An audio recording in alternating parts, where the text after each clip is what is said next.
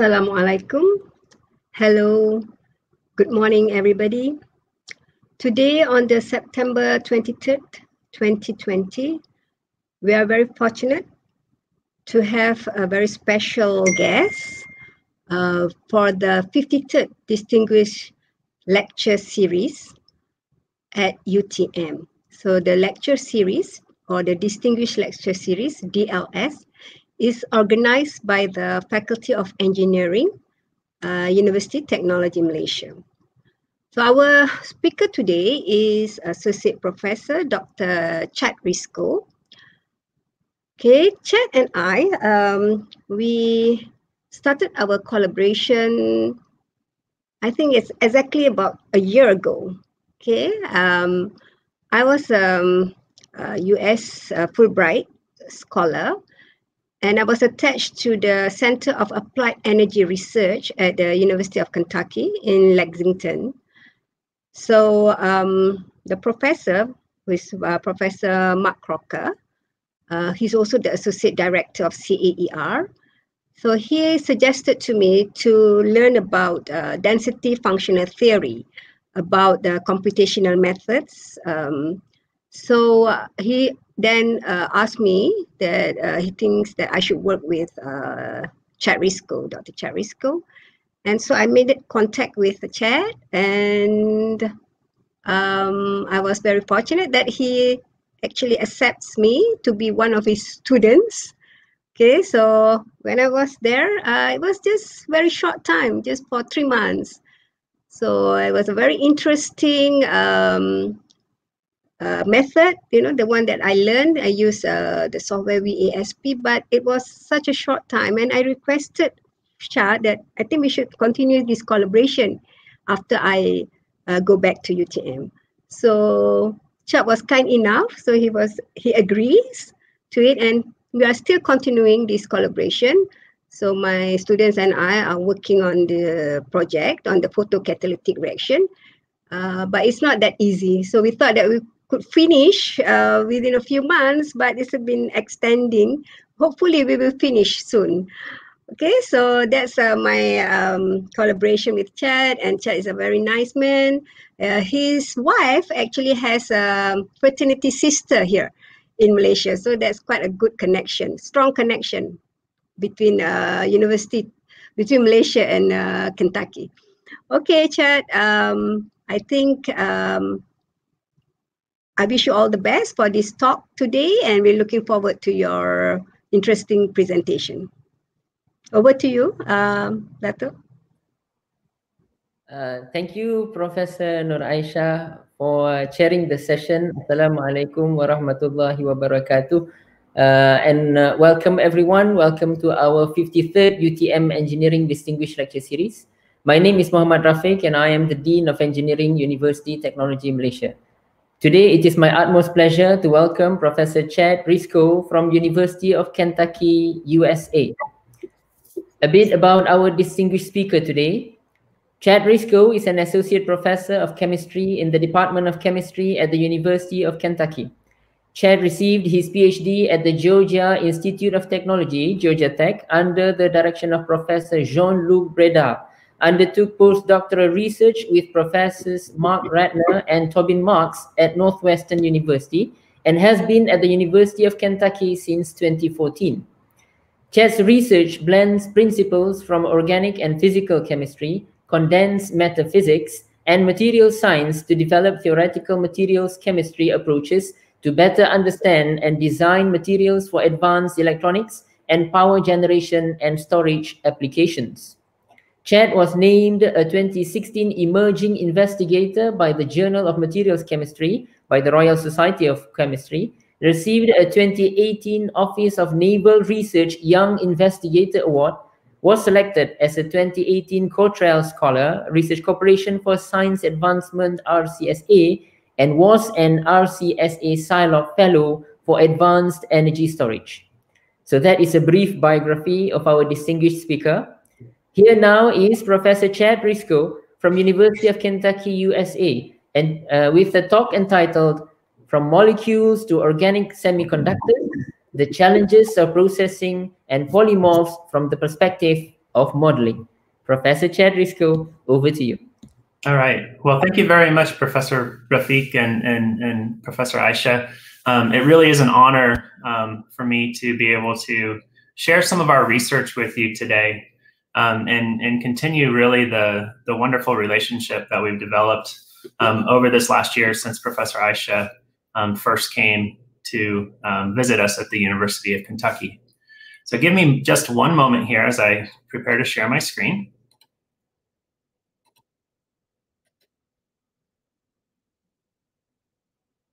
Okay.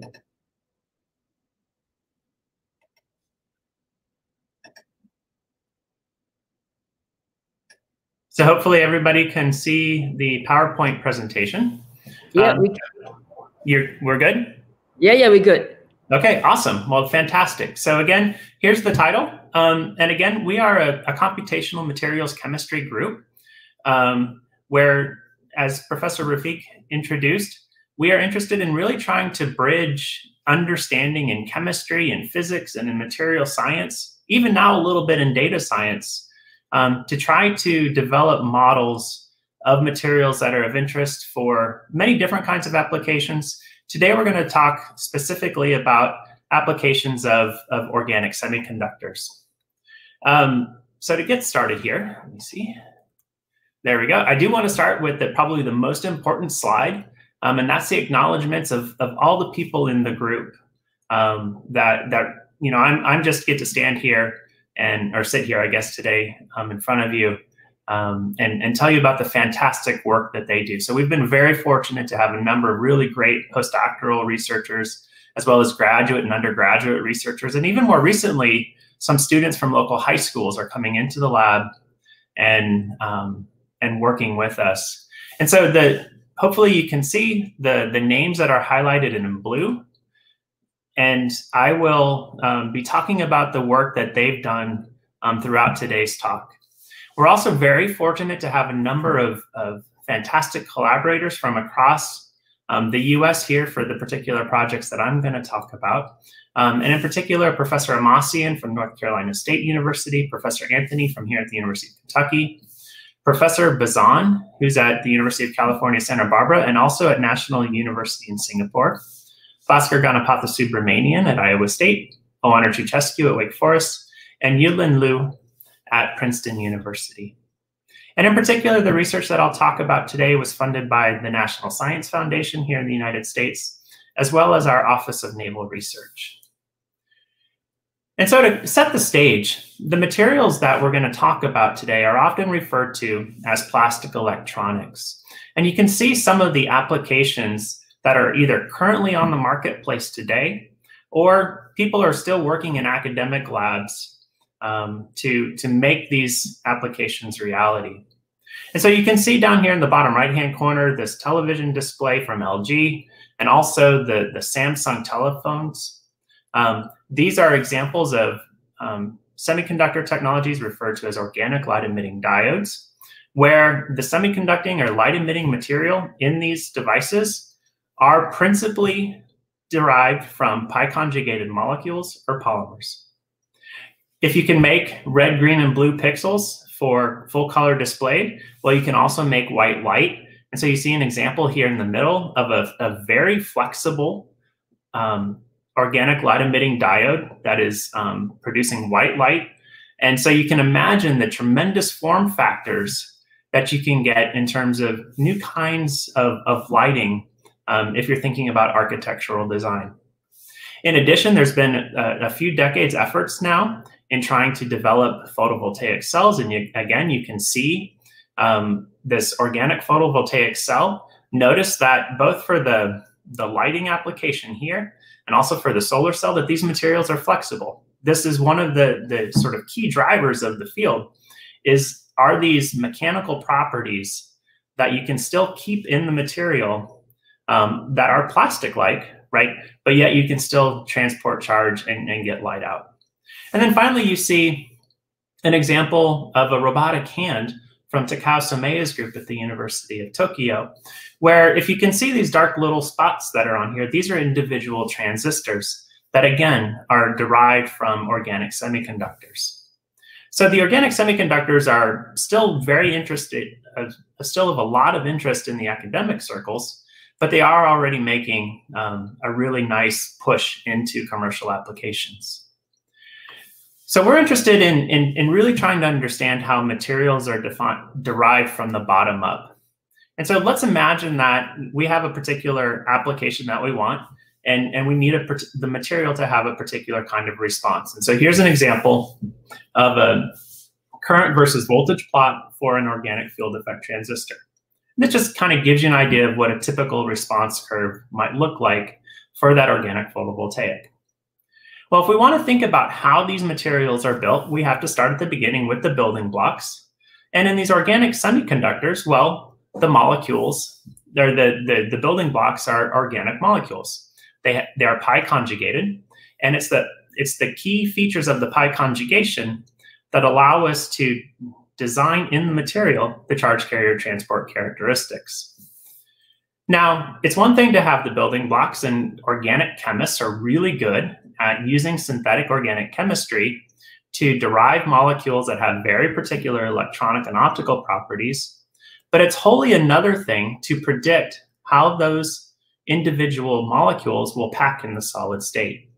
This is the der deriving force behind the so-called crystal, crystal structure prediction paradigm that is of importance here in materials chemistry, but also in pharmaceuticals. And so the idea is, how do we understand the nature of the relatively weak non-covalent interactions that are going to dictate the way that these molecules pack in the solid state? And here you can see I'm just representing these here by shapes that look like the old Tetris game um, for those of you of a certain age. But if we have structure prediction, right, if we can get to that point, well, we also need to be able to predict the properties of that material. Because if we have the properties, then eventually, hopefully, we can predict response. And so this is this kind of cycle that we need to think about. But there are many unknown questions, right, um, along the way. So let me tell you a little bit more about those individual Tetris blocks to give you an idea of some of the chemistry that goes into um, how they're designed. And so this is an example of a molecular system that we've studied quite extensively that was first synthesized by Guy Bazan, as I mentioned, who's at the University of California, Santa Barbara. And there are some key features in this organic molecule that are of interest.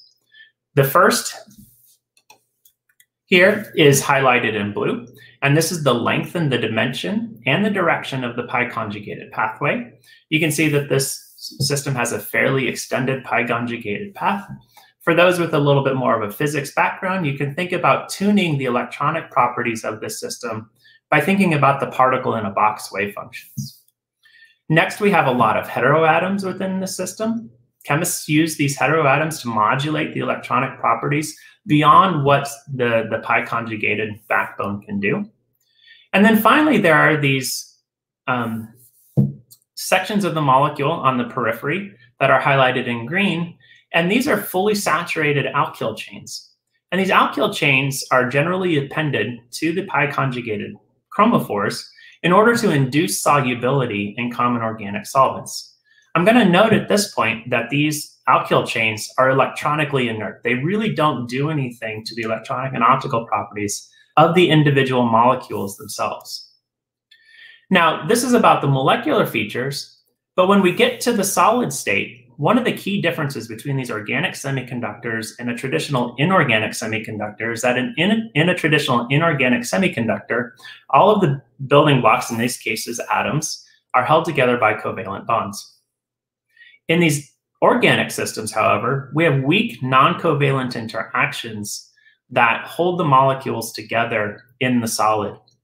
And because we have these weak non-covalent interactions, we it's it's much more difficult um, to control how they were going to pack. And if we think about moving charge through a system, we need to worry about how well every individual molecule interacts electronically with its neighbors. We typically, to evaluate that, use a parameter referred to as the electronic coupling, which is simply a measure of the degree of the wave function overlap between two molecules. And here, this is denoted as, as with the capital V. This is some older work from 2002 from Jean-Luc's group. It's showing a very similar plot just in two dimensions. But here, if we look on this right-hand side at this three-dimensional surface, right, we're plotting the electronic coupling as a function of taking two molecules and displacing one along the short axis, and then also rotating it. And what you can see from the surface is that there are a large number of undulations, and that these undulations are very big with very small movements.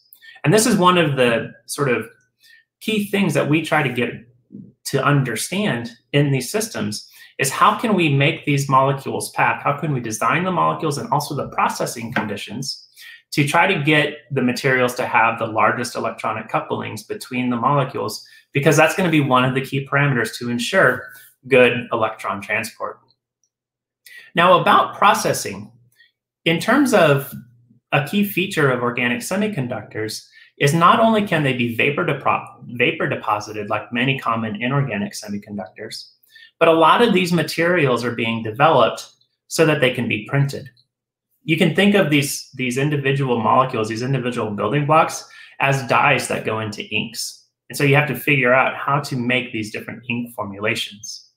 And so indeed, there's been a, quite a bit of research on trying to print organic semiconductors from inkjet printers, from blade printers, from spray coating, and even in advanced manufacturing.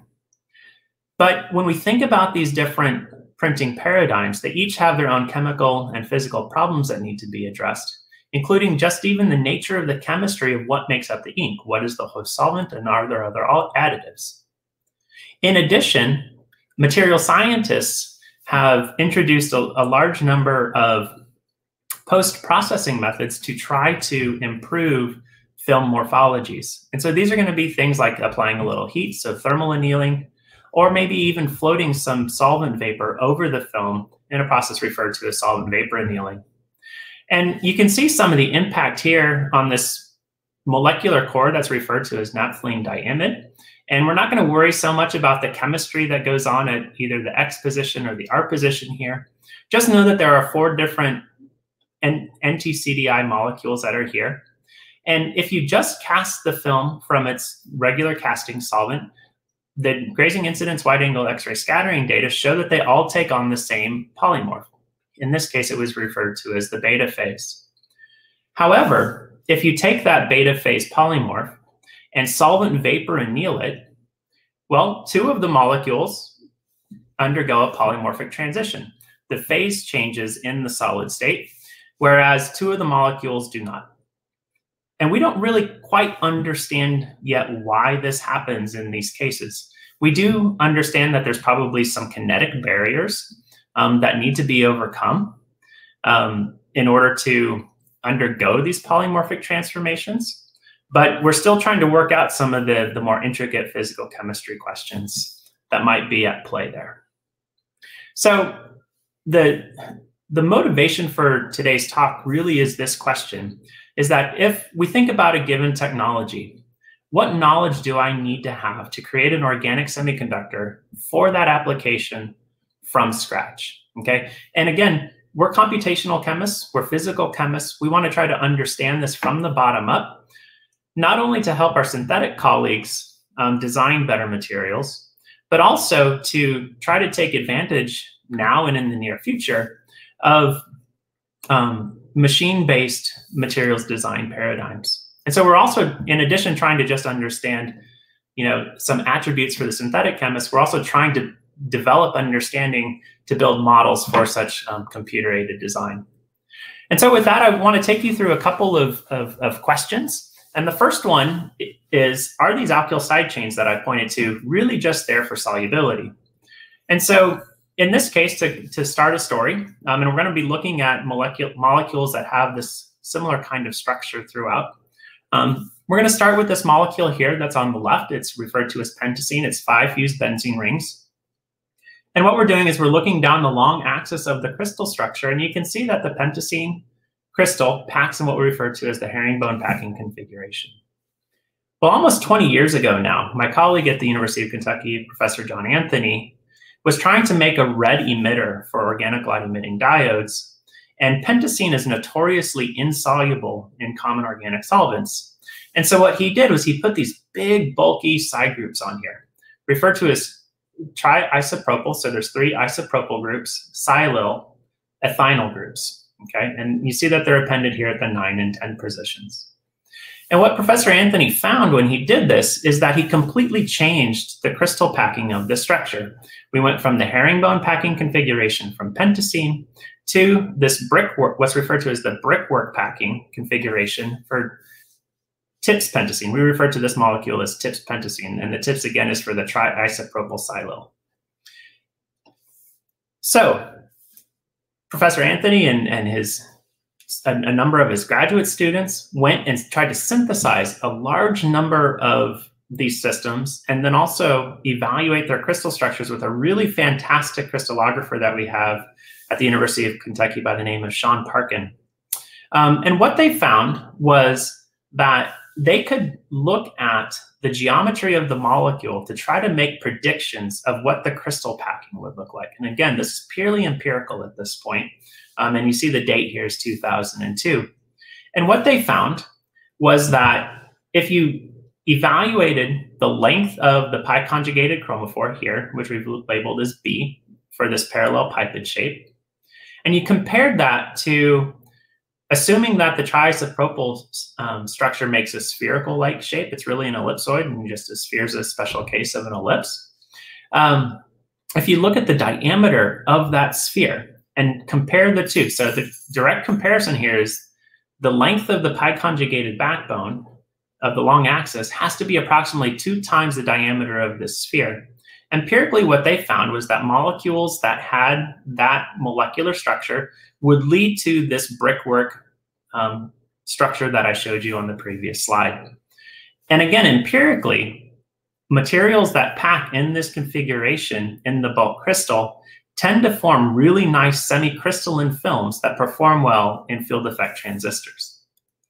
So let's look at another system because again, we wanted to dig into a little bit of the physical chemistry here. And so here is again TIPS pentacene.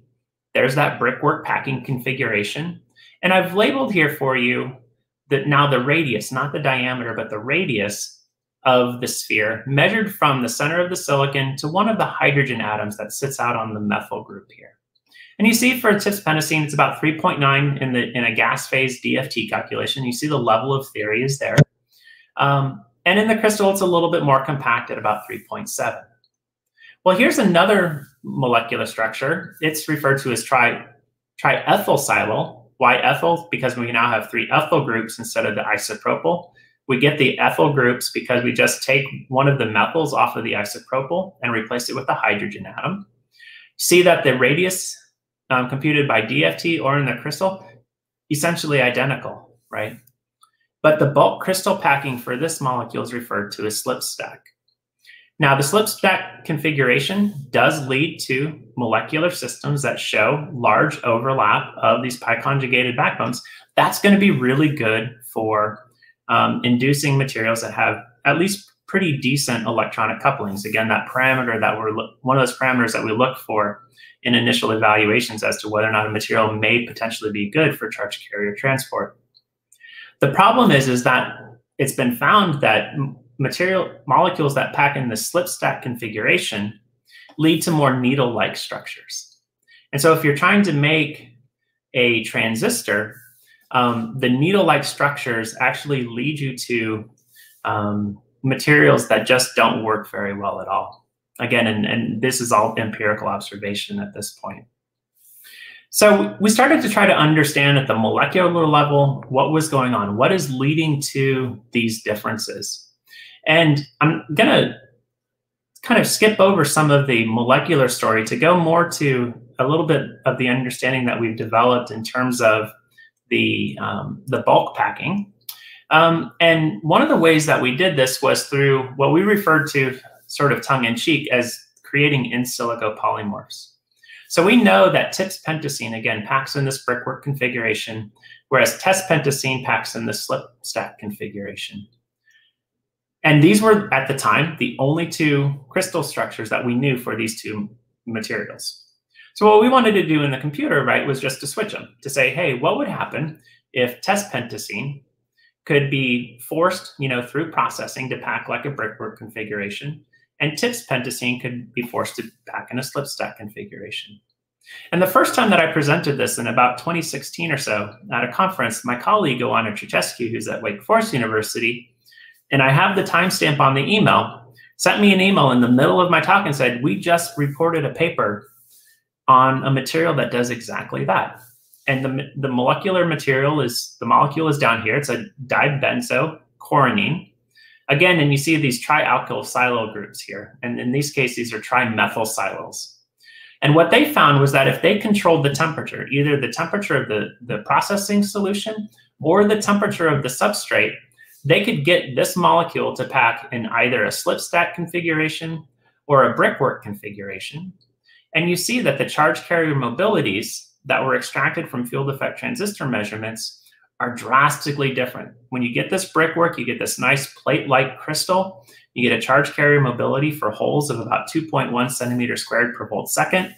Whereas for the one-dimensional slip stack, it might be a little bit hard to see here because the resolution is not great. That's more of a needle-like morphology. And you see that the charge carrier mobility is two orders of magnitude smaller. Okay, so this, this gave us some confidence, right, that our maybe wild idea of, of creating these in silico polymorphs um, might, you know, not be such a bad thing. And so one of the things that we wanted to start to, to understand was the cohesive energy density.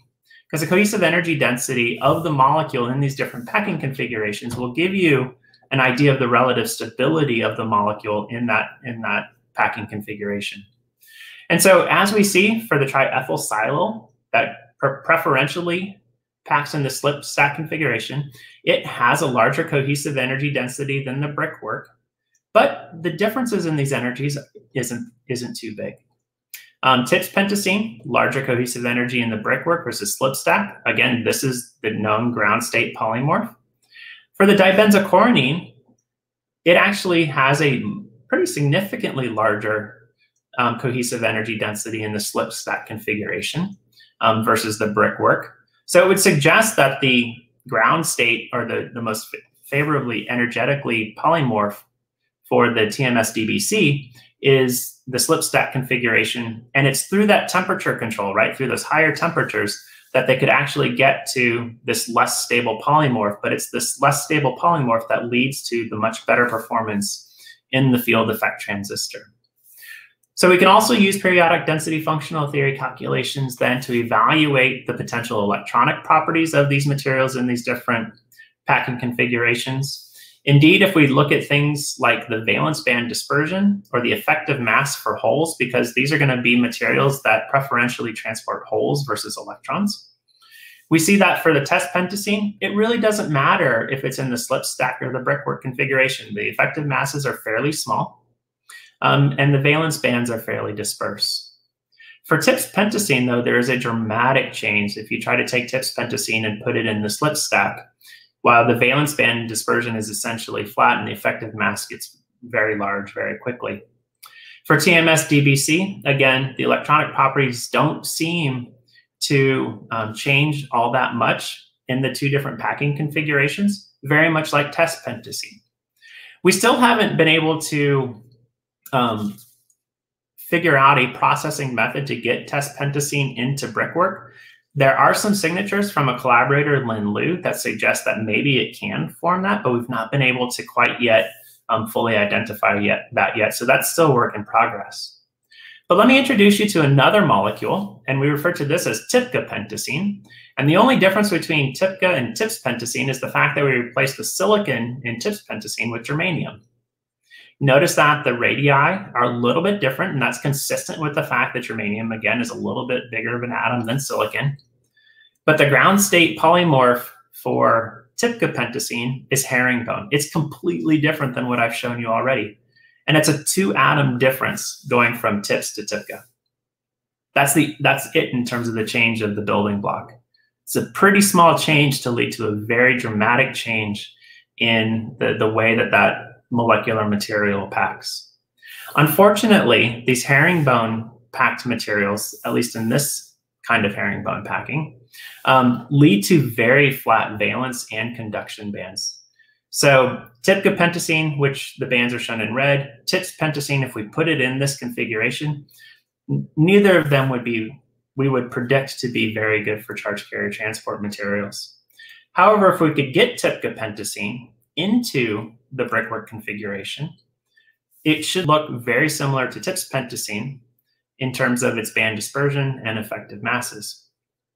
Now, we found that the differences in the cohesive energy densities for the TIPCA on going from this herringbone structure to the, to the brickwork were quite small. And this spurred um, our colleague, Professor Anthony, to take a look at this molecule and see if they could change the processing conditions to um, try to grow the brickwork polymorph. And indeed, we now have a molecular system that is this TIPCA pentacene that has a crystal structure, a known crystal structure, that's the herringbone, a known crystal structure, that's the slip stack, as well as a known crystal structure, that's the brickwork. And so this is really powerful, right, for us if we want to start to better understand um, these kinds of materials and, and what it is about the subtleties in these chemistries of the molecules themselves, but also the processing conditions, as we'll see in just a moment, that um, will lead to some differences. So one thing that I want to, to leave you with here is just another question. And as I said, there's a, a big push in terms of crystal structure prediction. And one of the questions that I have is that as it becomes more feasible to do crystal structure prediction, is it really enough to be able to pre predict just the low energy solid state structure?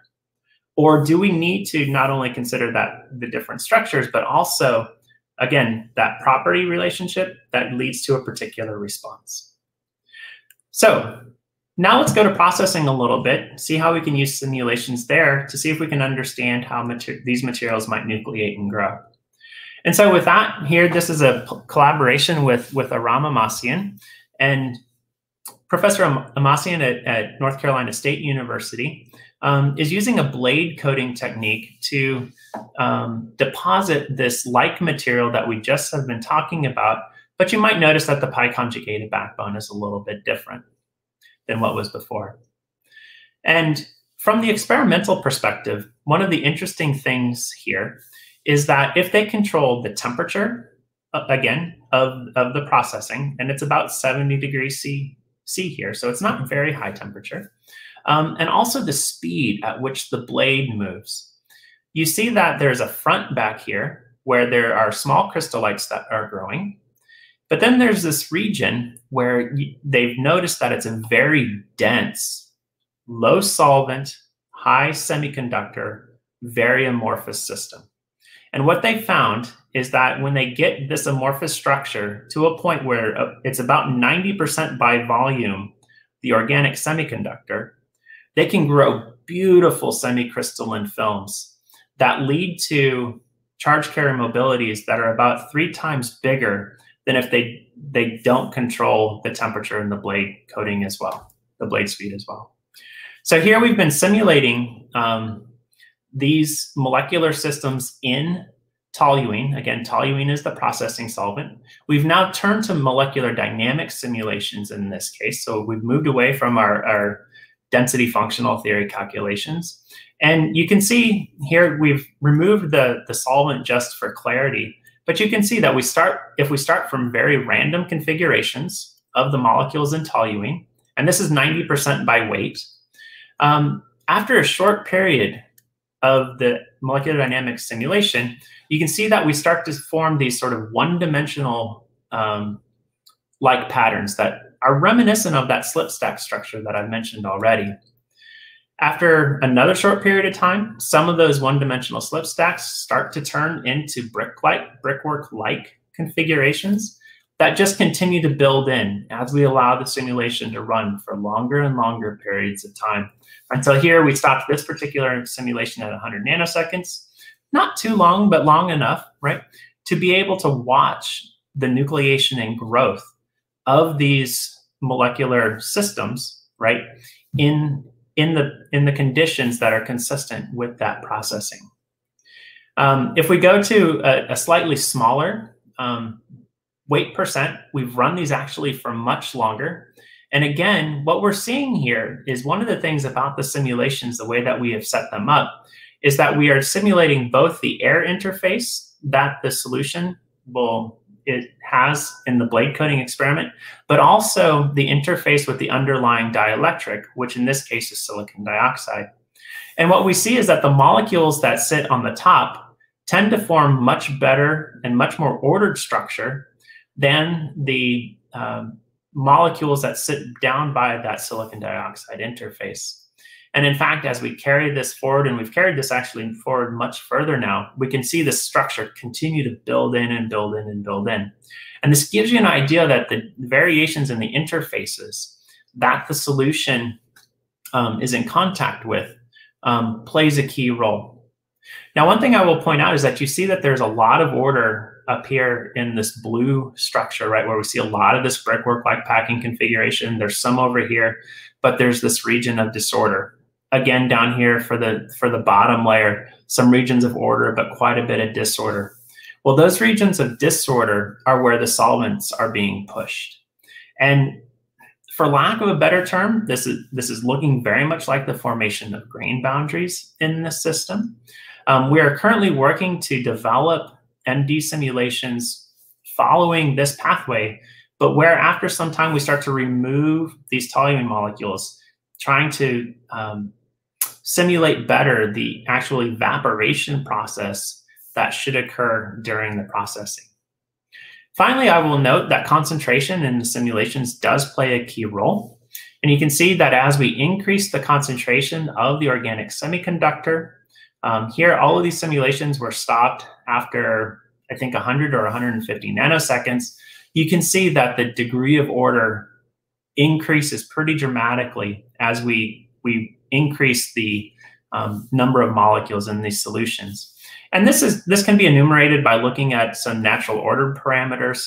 Here, the Q00 is the order of the relative order of the long axis of those pi conjugated backbones that I pointed to, whereas the red is the short axis. And you can see that when we reach about a 70% by weight solution is when we start to see the, the largest um, order um, in these structures. And, and that is consistent with the um, with the experimental um, measurements.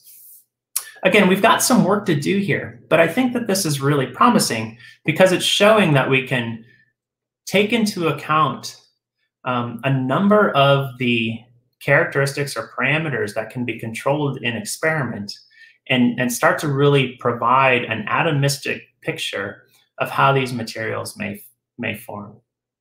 So finally, um, like a lot of people in, in, in, materials chemistry and material science, um, we are quite interested in using um, data science and data analytics, machine learning, um, artificial intelligence to help build computer-aided design models. And so what we've been doing through the context of a, of a grant from the National Science Foundation is to build a database um, that we refer to as Ocelot, so just like the cat. Um, here, Ocelot stands for Organic Crystals in Electronic and Light-Oriented Technologies. Um, I invite you to go and visit the website, and you'll see the website um, address on the bottom of the screen. I will note that that is version essentially 0.01 of the um, of the database. Um, we are currently expanding that, and I'll, and I'll show you how we're expanding that here. And it's going to have a lot more utility hopefully in the next maybe three or four months when the when the new version becomes public.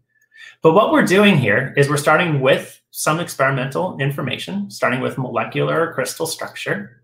We've set up a high throughput computational workflow where we're primarily evaluating electronic properties but we also have the capabilities of evaluating optical properties as well and as we're developing all of this data we're taking the experimental data and the computational data and developing descriptor schema.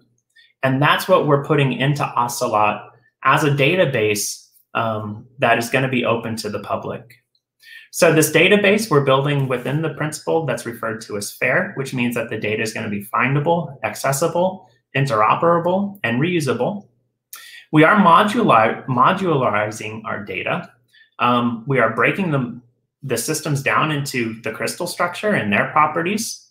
the molecule and its properties, but then also trying to break down the molecules into these different components, like the pi conjugated backbone or the alkyl side chains, with the idea that if we can have all of these different descriptors, right, we might be able to, to find um, correlations that will help us lead to um, improved packing models. And again, the data that we develop will be machine accessible so that we can enable community um, based machine learning um, algorithms. Um, we've developed an API, and you can see some of the the things that have got that have gone into the API, including the high throughput um, workflow, data curation, and access. We're currently under a, a pretty heavy lifting in terms of the computations that we're undertaking. Um, we have um, extracted about 56,000 structures from the Cambridge Structural Database, as well as some unpublished crystal structures from some of our um, synthetic colleagues, and and have started to to build a database based on those tens of thousands of structures. Now we don't want to do density functional theory calculations on all of those, and so we've we have made some choices in in, in terms of trying to down select um, to those kinds of materials that might have characteristics that would be good for organic semiconductors. And so right now we've gone from about 56,000 structures to about 25,000 structures. And we hope, again, maybe in the next three months or so that we'll finish the calculations and be able to, to really start to, one, I'll have this really huge data set available to the community, um, but also start our own um, machine learning um, on that data. But it's not just machine learning and, and you know some of the let's say fancier data analytics techniques that can be applied to this data. And I just want to just end with one quick story. And this is a story of materials rediscovery. And so you see these two molecules that are on the on the screen. Um, they look very similar at first glance, and I will tell you that they only differ by four hydrogen atoms.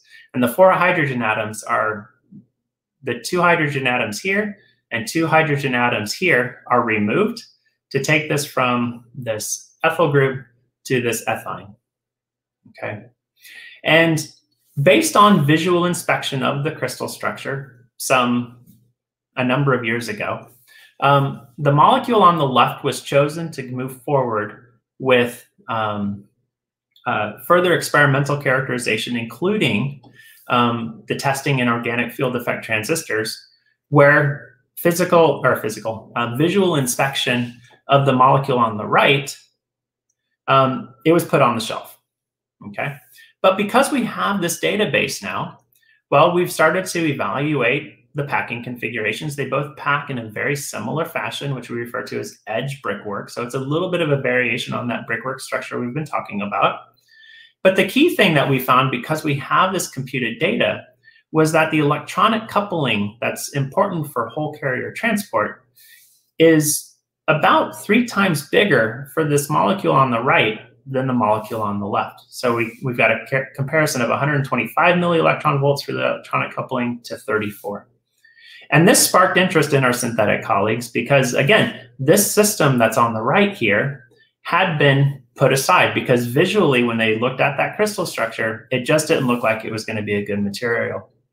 These materials, these molecules were resynthesized, new semiconductors were made from them, and indeed, in experiments by Oana Jurchescu's group, again at Wake Forest, they've done a lot of field effect transistors to extract not only average mobilities, but maximum mobilities and you can see that this material on the right outperforms that on the left um, by about a factor of two in terms of the extracted charge carrier mobilities.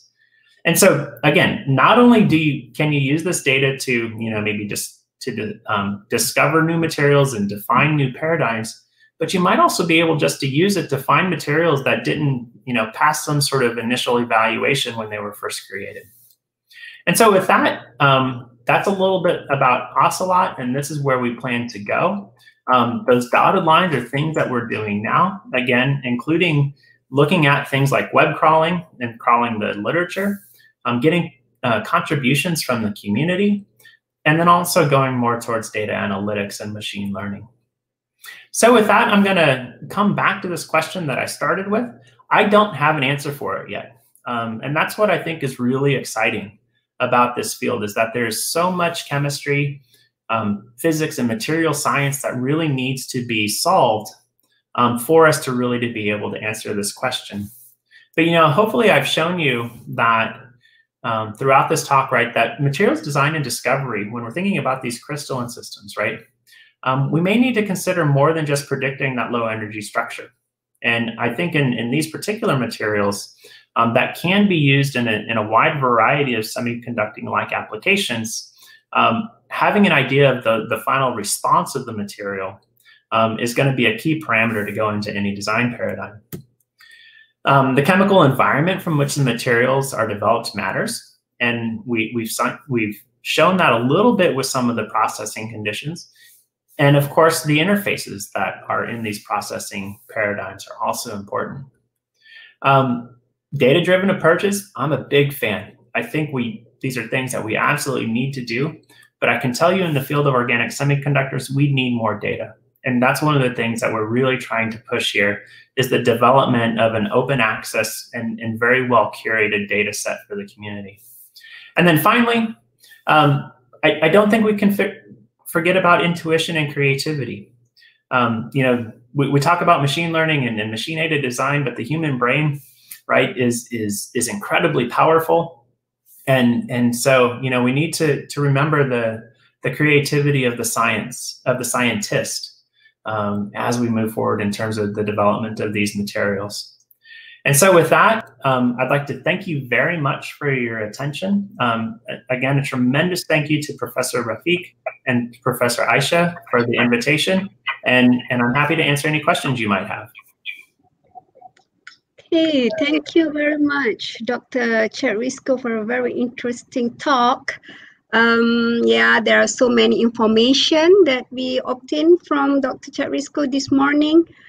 So we need creativity and innovation, yeah, Chad, uh, in order to move uh, forward. And yeah, about the, the data, uh, you need a lot of data. You mean uh, we have to do experiments? Or what? We, uh, when you're talking about that data database you know to do the artificial intelligence we what, hope so. what do you yes we, we hope to do, do yeah.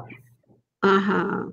Yeah. Okay so um um audience um do you have any questions? Can post it to dr Risko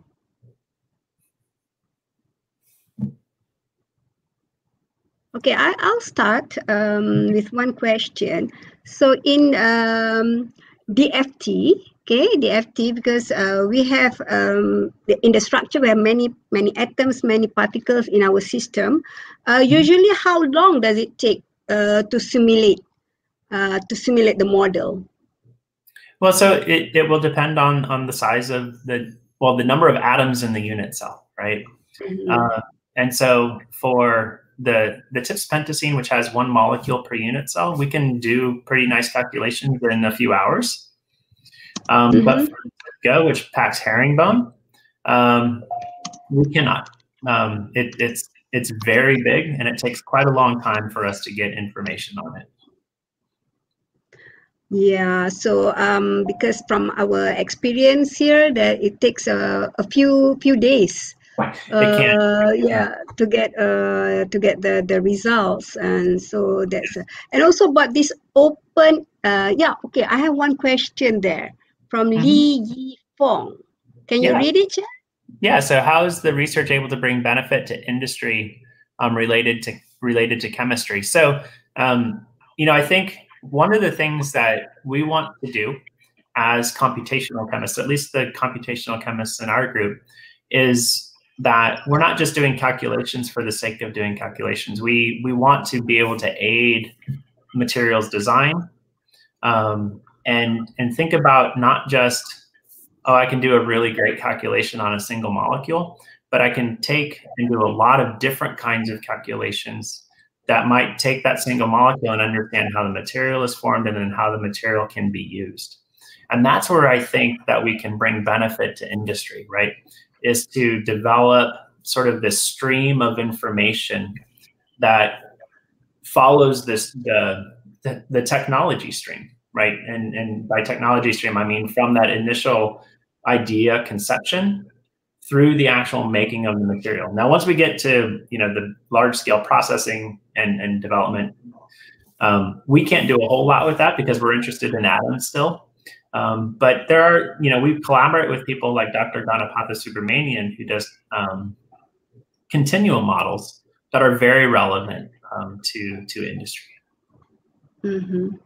Yeah, so we need uh, people from different backgrounds, like uh, you said, chemistry, uh, physics, mm-hmm. and also materials. Materials, materials and, and and and and Dr. Gatha, Ganapathysubramanian, he's a mechanical engineer.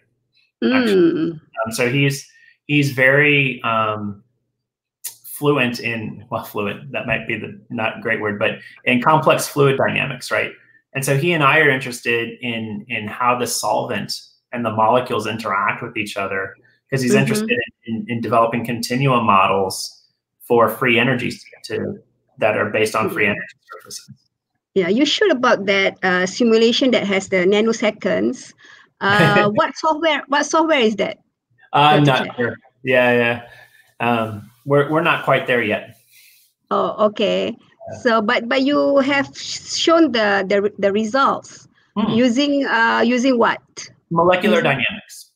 Oh, so okay. classical molecular dynamics, um, and and that's using open source code. Okay, yeah, that's the way to go in the future. Yeah. Yes. Open access. yes. Exactly. we, we tried. Yeah, we tried with the quantum espresso. Yep. But it took us a very long time to do that. okay, that's one another question by Muhammad Anwar Hussein. Yeah. So, what is the potential application of this research? So, in terms of application, so at the beginning of the talk, we talked a little bit about some of the um, uh, sort of current applications. So, um, well, I've got my my Samsung phone here on that I'm showing you. Um, this is an example of an organic light emitting diode display. So this is an example of technology that's currently on the marketplace. Um, and, and there are, of course, televisions now from LG and Samsung that have that technology in them. Probably next is going to be white lighting for, for rooms. Um, and then there's a lot of interest in, in solar cells as well. Um, I'd say probably for me, one of the more exciting applications, though, is in the field of bioelectronics. And, and there, we haven't done any research, but there people are taking advantage of the fact that these semiconductors are organic. And if you think about putting a sensor in the body, well, you're organic, hopefully, mostly. so, thinking about the the connections between you know this this this man-made sensor and and the human body, um, because it's an organic organic interface um, people are seeing a lot better sensitivity for measurements in vivo, um, as well as um, less rejection, right, of the devices when they're when they're put in contact, like actually in the body. So I think that's really cool. Yeah, yeah, just towards the towards the medical uh, applications. Yeah. yeah. Yep. Okay, right. Uh, so it was a very, very good and interesting talk. So for us here, Chad, we have some uh, problems with the resources. So yeah, we don't yeah. have the luxury of um, having the all these very fast uh, software. So I think open access should be the uh, the way forward yes. for us uh, to use this uh, technology. Yes. Um, yeah, so there are, I think there are no more questions. Okay. Um, I think uh, with that, um, I will end our our talk, our session today. So it's been a very, very good uh, talk, very informative, and I like the way how you uh, how you explain. Yeah, is uh, very down down to earth, and um, I mean people who are also not familiar can can understand what you what you talk about. Yeah. Okay. Okay, Chad. So, uh-huh, stay safe. Um, take care. And yes, uh, you you, will. You are welcome to UTM whenever this COVID things goes uh, go away. Yeah. so please do come and uh, visit us here. And for the audience, yeah, if you want to ask any more uh, questions about the computational chemistry, I think Dr. Chad Risko will not mind um, receiving your uh, questions through the, through the email, or you Yep. can just uh, search search for him. He's a very famous famous person in computational Not chemistry. Yeah. All right. Well, thank you very much. I appreciate the opportunity to talk with you. And uh, indeed, if, if folks have questions, please feel free to send me an email. I, I'm happy to, to continue the conversation. Okay. Okay. All right, Well, Chad. have a great day. Thank you. Okay. Bye-bye. Bye.